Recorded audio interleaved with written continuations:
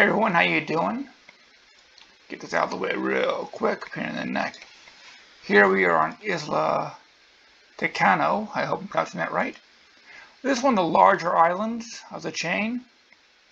You can see here, simple yet effective. Nice six hotels, everything here. Three mediums. And over here is my herbivore cage. There you go. Got most of the little dinosaurs there. Got this guy here. Back. The thing I like about this island, there's a lot of room on both ends to make large enclosures. So if you look over here, I've got my theropods, my small carnivores, and then my large carnivores.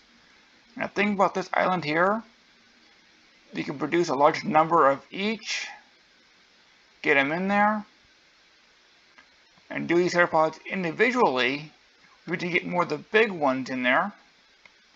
And this enables you to get a higher rating. Now the raptors, they head up, I can find them again, there they are, the raptors right here. They will attack the walls. Make sure you electrify them, as you can see. But yeah, this is actually a pretty good area.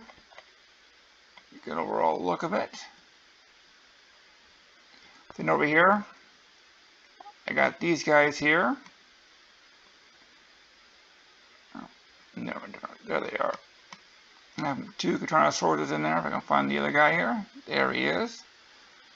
Then I have Giganosaurus here. But as you can see, plenty of room. I can make one for each of these guys. And it works out pretty well. Now, just in case you're wondering, there was a second Giganosaurus here, just in case I needed the boost. Alright, so there you go. It's a pretty straightforward system. These guys died almost immediately on my fourth star. I had to rebuild these guys a few times. But as you can see, they're doing good. My T-Rex here.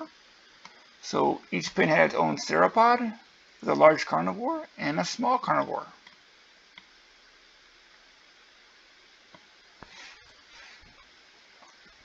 Three medium power generators, all I needed.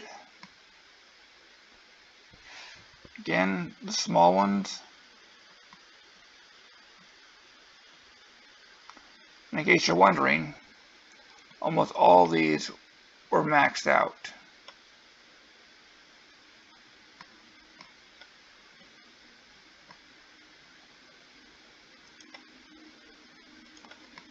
Thing I like about these sort of pop up out of nowhere and get in your way. So there you go. I hope this helped you all out. If you have any questions or issues or any concerns or official build, let me know in the comments below, alright? So here you go. Thank you very much and have a good one.